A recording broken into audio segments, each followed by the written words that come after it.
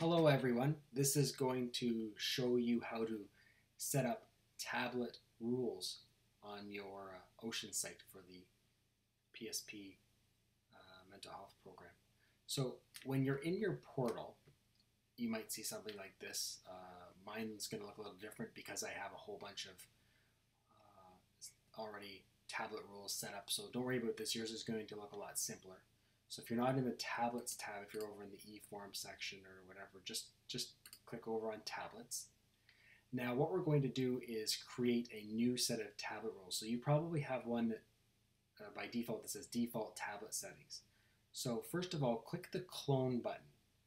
And what that will do is it will create a second um, set, uh, a second area for tablet rules. So if you say, so I'm just going to, for example, use this one for default, no rules, because it is a blank slate, has no rules. So if I click clone, and then I've got no rules one, so it's cloned it. First of all, let's click it to rename it. So let's, in your site, let's name it uh, mental health PSP.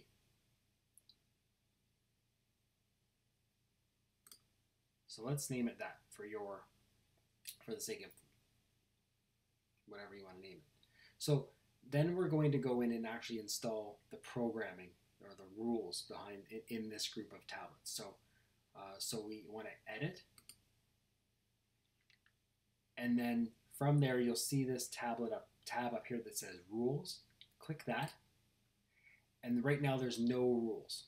So we want to create three rules to make the programming work for this PSP algorithm. So click Create Rule. And the first rule we want to create is for the, the PSP PHQ9. So if you just type PH, PSP in the search box, then we can find the PHQ9. So just click that, and we're going to say Create a Rule. So now it defaults to that says true in there. Don't worry about that. The PDF that you downloaded that has the three rules in question, I'll just drag it into my screen over here so you can see.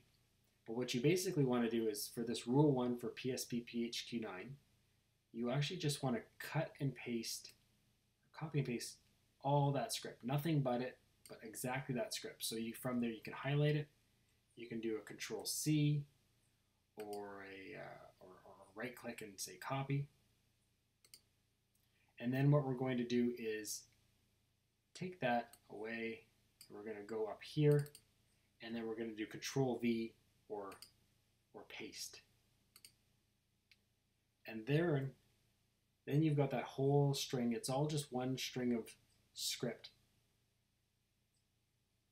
for the whole um, for that whole rule. So that, that tells the the the algorithm what when to load the PSP PHQ9 form automatically. In any case, so that's the first rule.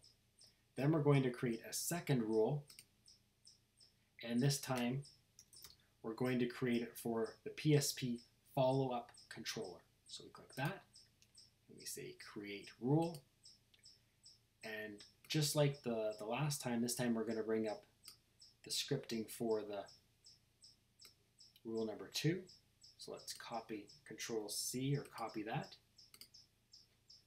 Move it out of the way. And we're going to paste it into there. And then finally, we're going to create our third rule for this group. And this final rule is going to be for the pre-PHQ screen. So PSP pre-PHQ screen. We do that, create rule, bring that PDF back over in here so you can see it, copy that script, and then paste it in there. So we've created the three rules, then we just click Save. So then we've got our group here that has this this group, uh, this rule. Now, your your clinic might have a bunch of tablets that you might want to use. You, some tablets you might want to have just uh, assigned to these rules, and other tablets you might other tablets you might want uh, using other rules. But so if you wanted to start using your family health team or whatever tablets you want to use, or maybe it's all of them, you, all you do is click and drag the tablets in question. Just it's just click and drag. And therefore, all the rules in this mental health PSP now apply to these tablets in question. And that's it.